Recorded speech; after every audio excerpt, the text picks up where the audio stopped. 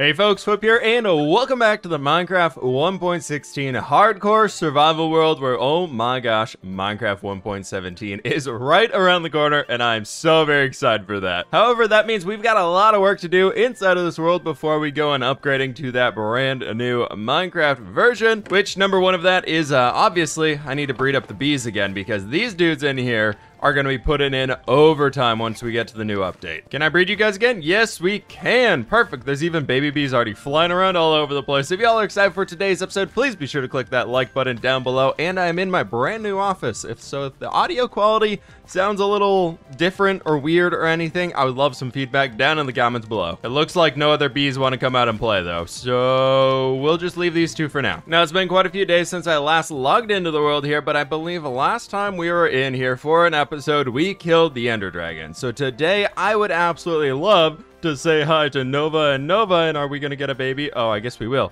Do we get a baby? Is it gonna be a Coda? Hey, little guy, welcome aboard. But anyways, as we killed the Ender Dragon, I thought it'd be a fantastic idea today to dive into the end and see if we can get an Elytra and get some Shulker boxes. But first, my friends, I got a little catch-up work for you all here, so let's go ahead and kick this off in a good old-fashioned time-lapse mode, building up, wait, this is new, a slime farm.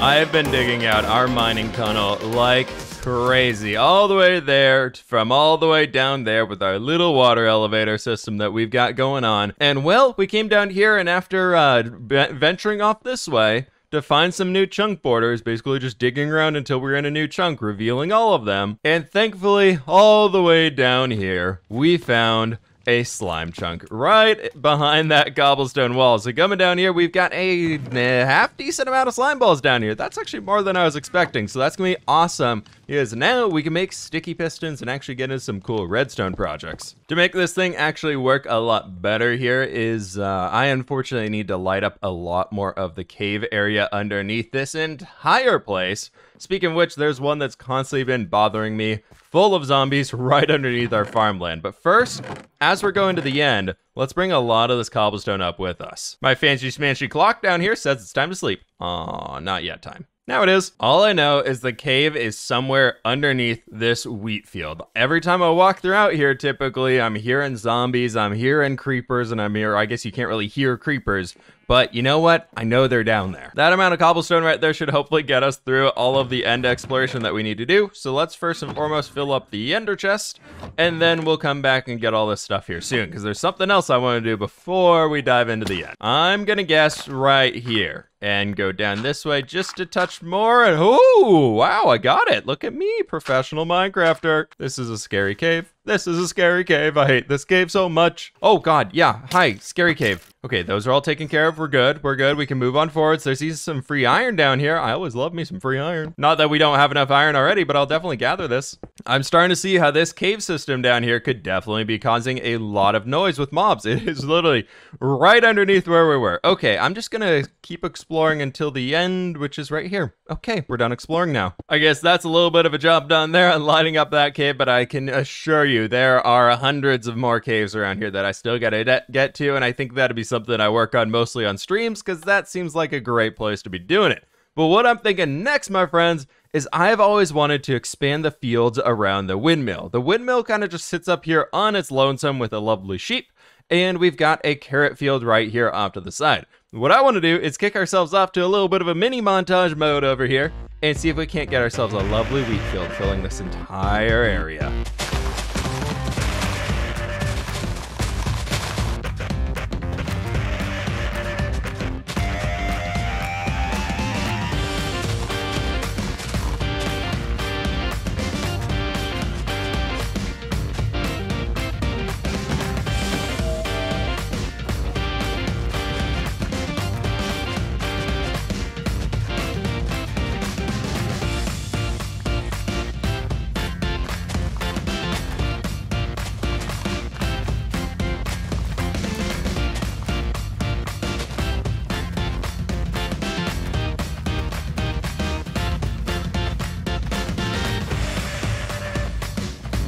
We've done it. We've got one additional wheat field placed down up here, and it just needs to grow a little bit more, but that's going to look fantastic. I still want to expand the nether wart down here too quite a bit because I think it'd be a really cool one to have filling this entire lower area along the river's edge. But that up there is going to look fantastic. The size of it and everything is going to be so very good. And while I've been kind of walking around this area, there's something that I realize we need to do. Also, forgot to mention there's a little bit of a buoy out here of sorts. That guy, and that's an AFK position for the slime farm. But for that little thing I was talking about, we need a lot of these guys, and hopefully we have a little bit of gravel. Not really. Nope, not really. Okay, well, that'll do. Then I need a lot of this guy, and we need some torches, which I actually have a good amount on me.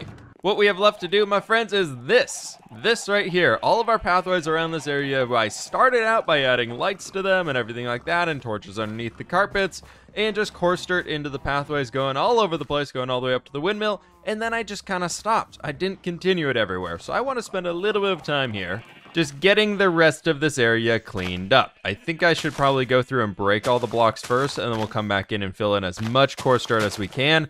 I want to see how much of this I can get placed in here, because obviously we're a little limited on the amount of coarse dirt we got today. But there we go. That should help keep us safe a lot more as we're walking through the farmland in the nighttime and really stop the mobs from spawning. The only place they could really spawn was on the edges of the pathway, so if we light up the pathways, we're good there.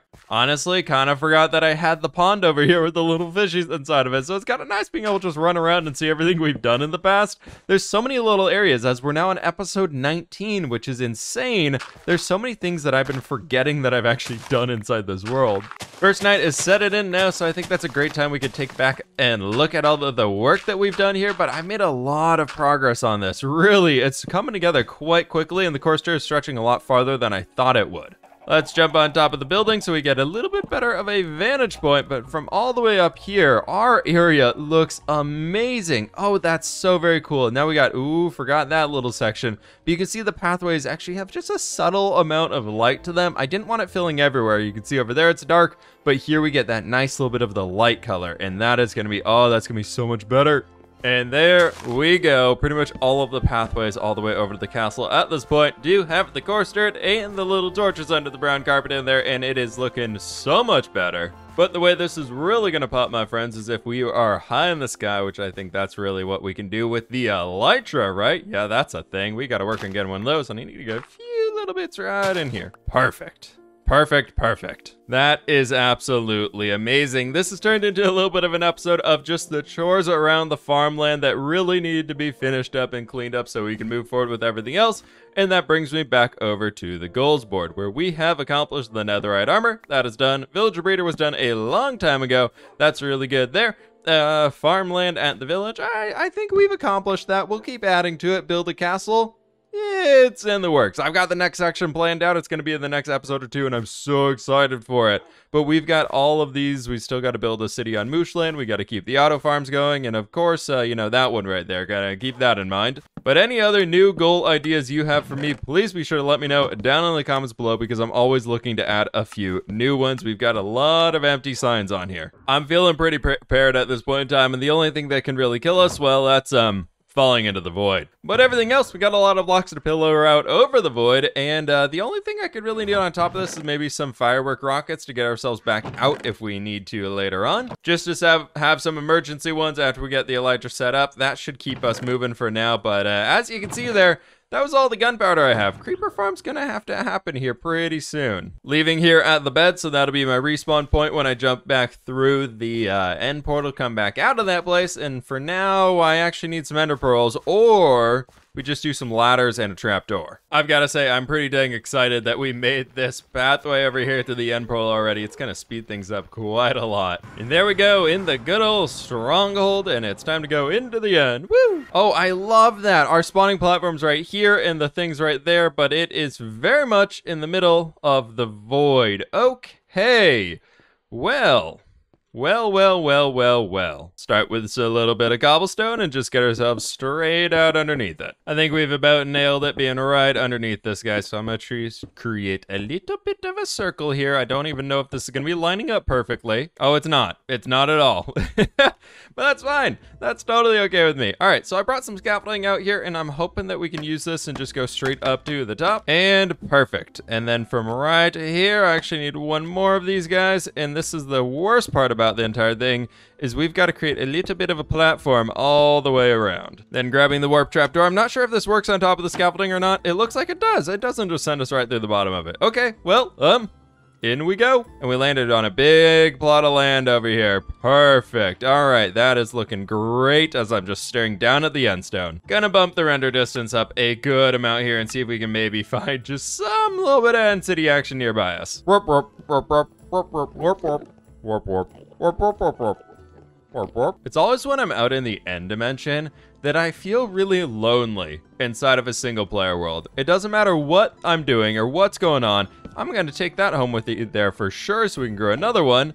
But just being in the end dimension all the way out here is just so lonely after a while. There's just nothing happening. I would love to see an overhaul of this dimension. Now it is time for the end pinky workout of where we have to crouch and move ourselves all the way across here. And we're safe. Oh, that's always, that's, uh, that's the end of the series right down there, everybody. We go straight down to that. That is a game over for me. Oh, there we go. We got one. There we go. I don't see it. Oh, there's no boat.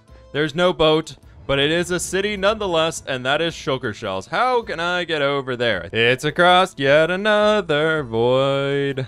Why did I go this way? I feel like I could have just walked around over there, but no, I pillared to these islands in the middle of nothing. I'm coming for you. I'm coming for you. no. No, don't look at him. Don't look at him. It's your boy fWhip here, about to cross another void again because, you know, that's all we do in the end. Oh, maybe not, though. Oh, yes, yes, yes, crossing void. Okay, that's fine. Just jump. It's, we made it. It's okay. Reconnect here. Oh, that is deceiving that's like, oh yeah, we're safe, we're totally fine, and then nope, dead. But here we are, finally at our Bebe end city. Okay, it's time to get some shulker boxes and see if there's any good loot in here. But here we go, let's do it, the first time. Oh, he disappeared, that sucks. And we're flying. Okay, well, we got Shulker Shells right down there. That's perfect. Great, great, great. I lost him. I have no idea where he is. There he is. Hi, buddy. Woo, okay. On to the second layer now of two layers, and uh, there's gonna be like no shulker boxes in this entire place. I did want to say for full transparency though, I mentioned it at the start of this series, but I know we're on episode 19, so it's been quite a while since then.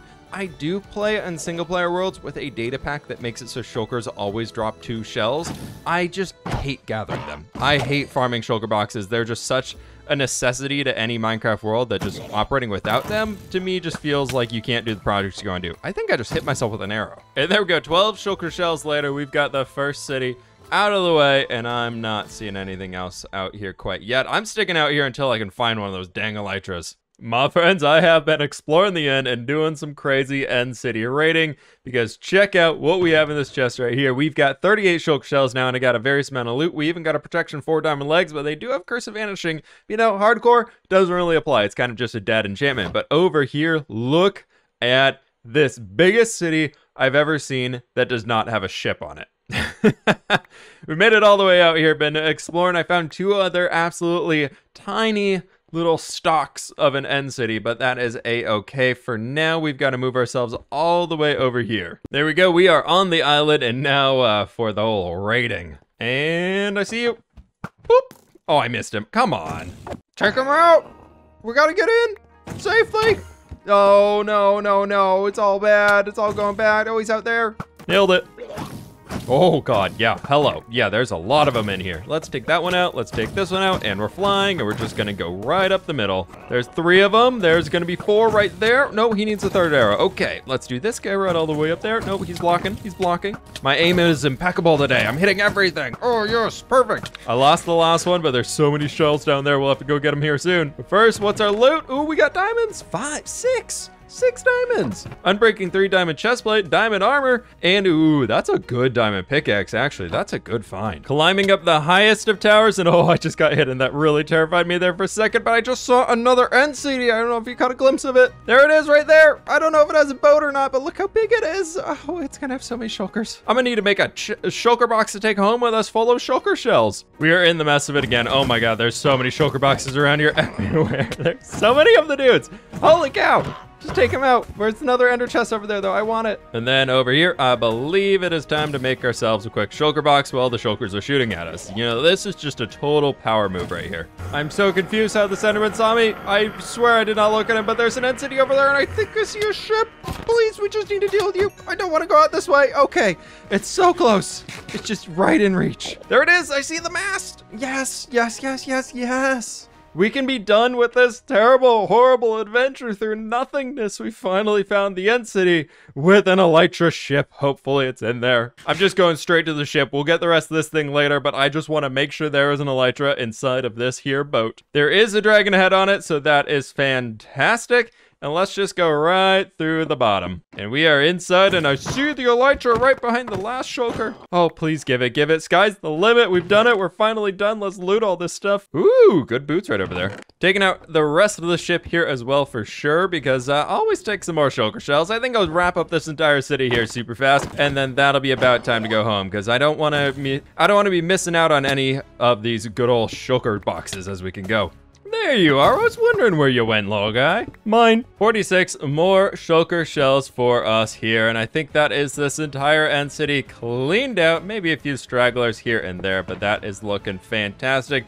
We've got the Elytra, and we have so many goodies. Up to over a stack of iron right now, which is super sweet, and we've got so many different random pieces of diamond gear over here, and 23 more diamonds themselves, which is really fun. Now it's time for me to find my way home. That's gonna be more fun than not. Our total diamond haul is growing so quickly here. We've got 16 blocks, and that'll be adding another eight more blocks of diamonds. I low-key want to get a diamond beacon at some point. That would be so fun to have. I've never had a legit diamond beacon before inside of Minecraft. I just think that'd be a really fun challenge to do. Obviously, I know people are going for the old netherite beacons and everything nowadays, but I feel like I'm pretty okay with this one for now. Netherite is just a whole nother level that I'm not looking forward to, but what we're gonna use up here, this is gonna be the end chest for now, with all the extra diamond armor and everything that we got on the trip. That is a resource haul, my friends, and on top of that, we've got our Elytra, and do I have any mending books over here ready to go? Looks like a no, so off to Mooshland we go. But first, Elytra on. Time to take the first flight of the Hardcore Season 2 world. Oh, it feels so good. Oh, the base looks amazing from up here. The wheat field's growing in too. I told you all it looks so good from the sky. Oh, this is opening up a whole new level, my friends. I am so very excited, but I gotta go to Mooshland. You know what? I'm gonna fly there. Goodbye, farming village. Goodbye, castle. I'll be back soon. And there they go into the fog. Good thing is this is actually only a three rocket trip to get all the way over here. So that's actually pretty solid. That's not half bad. Now over here, we are gonna be needing one of these amending books right there. And then I also need to find the unbreaking dude. There we go. I was getting worried I didn't have one. The last villager I checked. Of course, while I'm here, I'll always take more glass. And there we have it, the Unbreaking 3 mending elytra for ourselves. Perfect. Let's get this thing mended up while we're over here getting all this glass and lanterns. There we go. Used up pretty much all the emeralds I have, but look at how much more glass we got and how many more lanterns we got. Oh, it's so, so good. I love the librarians down here. And these two. I love the stonemasons. And you too. Don't worry, Henry. I still love you too. Continuing on with today's plan of a bunch of just little mini projects that gotta get done around here, I was thinking we could design a banner for the castle. Something that's gonna pop, something that's gonna look really cool and contrasty with everything we got going over there, which I think is gonna involve a lot of that color and a lot of the light blue color. So we gotta run over to the swamp biome here super fast and get a bunch of blue orchids for ourselves. Thankfully, this trip is about to be a million times quicker because we can just fly high into the sky and just going right on over here. This flower forest is actually so incredibly close, so we're gonna have to set up a little farm there for a bunch of flowers here soon too. I see blue flowers. I need these. Could I have made everything I needed with what we had back at home? Yeah, for sure. But I really wanted an excuse to use the Elytra and fly around the world. And here we go. We got all the flowers. I kind of love that. The lone dark oak tree sitting on a mountaintop. That's really cool. Sometimes Minecraft terrain generation is just amazing. I've made a pretty huge mistake here, everybody. I got lost and started traveling off in a random direction and went about 400 blocks or so, and with the Minecraft 1.17 update right around the corner, it's really not smart to be exploring all these new chunks because that's going to limit how close we can get the new caves back to our base. So I think for the next little while, at least until we get moved into 1.17, which I'm hoping is going to be next week with the release of the brand new update, but we got to be careful not to explore very much here in the overworld so we can get all those new caves right next to us. We're going in for the run! We're going in for the run. We're making it. Woo! Not making it. Not completely making it, but we cleared it. It's fine. Totem did not pop, so I think we made it. There's the beautiful castle loading right into view, my friends. We are back home, and this is amazing. Oh, this feels so good to be flying around the world. I got so many cornflowers, and now it's time to make a loom and get to this whole banner thing. We are starting with a blue banner for the base ourselves and be lining it up a bunch here. So I'm gonna just dye a few of our white sheep blue for now. We can always turn them back later if we need to, but right now I need a lot of wool. Of course, I already had looms inside of here. Huh, okay, well, loom, you can go sit in there. But the plan here, my friends, is to make ourselves a blue banner, and we're just gonna create one at this point in time, and I need a little bit of white dye here too. Now with this one, we're going to be starting off with a little bit of white and bringing in the cross right over here with the white cross right on top of that dude. And then from there, we're going to be using the inverted chevron up there. Then bringing in a little bit of the light blue action. Nope, that's a flower light blue. There we go. We're going to be throwing a gradient on this from the bottom coming up there, which I think is so very sweet. And then back to the white one, we're going to be throwing this big old lozenge or whatever trapezoidy shape that thing is there in the center. And then bringing the light blue back in once again, and we're throwing a dot right in the middle of this one. And check this banner out. Let's go put it on the castle first. I wanted to make something that's very versatile that we could use as a lot of different shapes and sizes as we're building more things around here if we want to put flags on top of those things or something. So I thought the light blue and the white could work super well with like quartz, but look at that. How does that feel? Oh, I love it. I think, oh, I think I really like that. I really, really like that. I think that contrasts so well with the castle. Oh my gosh. And from far away, I like that. I think that's great. I just got to go get a bunch more light blue wool so I can make a lot of copies of these guys. This is looking fantastic. I got a bunch of them over here inside of the castle, and I decided just add them as you're walking up under most of these gateways. So as you walk in, you see the banner colors and everything like that around the castle. And I think it's really taking it away from that pure earthy tones environment and giving that little bit of the splash that I just love so very much. We got two here on the front, but I'm thinking about making some custom ones out of like full blocks of wool. that can be a little bit larger, maybe just like one right there or something, but we'll see how that goes. I'm kind of waiting to do more of that until this front section of the build is done over there, but I did think of something that I would love to do on the castle today. Right there, we have a bunch of chests. That is kind of the storage room for the castle, and it's very, very annoying to run all the way over there. We've got this lovely little room inside of here that doesn't have too much going on with it, so I'm thinking we can turn this into a castle storage room. I would love to maximize the amount of space that we're able to work with inside of here, but also on that ground is I don't really care if it's super efficient. I just want to make sure it also looks nice. So I was thinking if we give ourselves one, two, three, four, and maybe, yeah, let's go with four blocks of height right up here so we can start some cross beams first. And that actually worked out pretty perfectly. Okay, sweet. And then we can uh, strip all these guys down so it kind of blends in a little bit more with the build. We can put one of our million ender chests right in there and give ourselves another, and then pulling out a crafting table that I'm gonna need here super fast. I was thinking in the top, we could just do some spruce slabs going all the way across here to give it a little bit more of a lip. Now, I did forget we have this thing over here, so I'm going to leave this area empty for now, and we'll figure that out in a moment. But what we can do over here is, do I want to put a way to get inside this building? We don't really have a way at all inside of this whole section of the castle, so I think we might have to. So let's leave a little bit of space right here for a door that we can just walk inside of, but it might actually have to be up on this layer here. So you could walk in and then you kind of take a step down, but otherwise we're gonna be getting blocked by this slab. And we actually have the perfect point up here to lead to that next layer of the storage room as well for whatever the heck I'm going to do up here. But for now, this will be totally a-okay. I'm just going to light it up a little bit better. Now we don't have too much space, so I'm thinking on this side we can just have some rows of some chests stacked up next to each other with a little trapdoor action in front of them, going all the way along here so it looks like a bit more of a storage room option, which I think could be very, very cool. And then if we stack those up just a few times, that should be great. And finally, adding in the chests, I added a little bit of the slab action right in here too, so the chests weren't just stacked directly on top of each other. It gives a little bit more of a realistic sense, I think. There we go. The chests are all in place now, and that's looking fantastic. And then I did bring a bunch of barrels, which we can kind of use these little corners around this entryway because it looks a little flimsy right now. So I was thinking we could just more or less reinforce it with some of these dudes. As far as the furnace system goes over here, I wanted to bring over a furnace right there, and then we're going to actually smelt those guys down, and I think I forgot fuel. That's probably pretty important for this. Yep, didn't bring any. Okay, back. Nope, nope, lava bucket. Haha, the least efficient use of a lava bucket. But the very important use of the lava bucket was to be able to make two blast furnaces for ourselves, which actually I'm going to put down there as the base and move that regular furnace up a layer. Just so we can feel like this is actually something usable. There we go. That's looking pretty fantastic in here. We have so much space to store some resources and just fill this all full of some junk in here. We've got a lot of barrels around there, and I think the storage room might be about the same size, if not larger, than my current one that I'm actually using, but that's a-okay. We can do this right up here. Just give ourselves a little bit more something going on. And maybe instead of the torches, we have about a billion of them, so let's go get some lanterns.